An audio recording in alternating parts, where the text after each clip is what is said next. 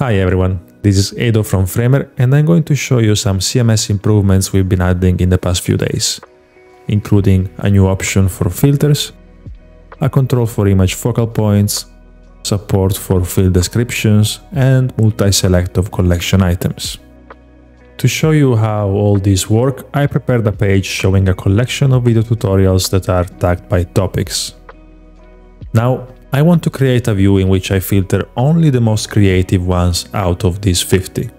So let me add a creative title for my page. With my collection being selected, I'm going to head to filters. All my filters are now grouped in this popover, and you might already notice a new control here at the top. I'm going to add the first filter to select only collection items with a certain topic, which is effects. Add a second filter, this time matching a topic that is components. You'll notice how nothing is shown in my page yet, since the filter is trying to match all these conditions. If I click to any, which is a new type of control, I'll see items matching one or the other topic showing up. And since there has been a recent creative update, let me try to include it with another filter. I choose title, contains, and type in cursors. And there it is, a new item matching my filter shows up in the list. And that's it for filters. We also included an improvement to give you more control over how images are displayed. If I reduce the height of this banner, you'll notice some content gets hidden. And this gets even more noticeable on larger breakpoints. The content gets equally hidden at the top and at the bottom, but I would like the upper part to stay always visible. In the CMS view, by opening a collection item, you'll notice that images have now a new control called focal point.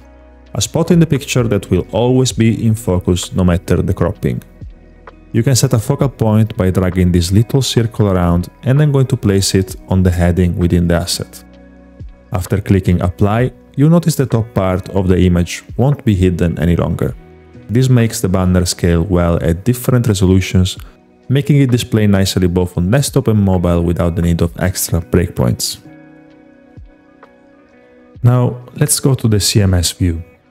We've been asked about the ability to duplicate fields with all their options, so we made it possible on right click. We also added field descriptions, so that designers working in larger teams can leave suggestions to marketeers and copywriters.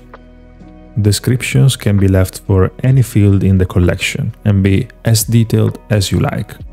For instance, indicating the type of content the team needs to fill in, the tone of voice, the recommended length, or anything else really.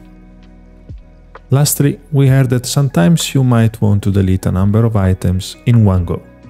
Now you can click select or simply hover on an item icon to show a checkbox and multi-select a few.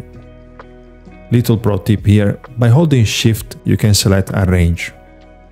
When clicking delete, you get a confirmation message, but don't worry, if you deleted something you shouldn't have, you can always command Z or Ctrl Z to undo.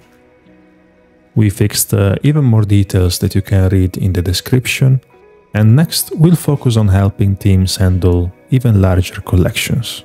Stay tuned for more CMS updates coming soon and happy building!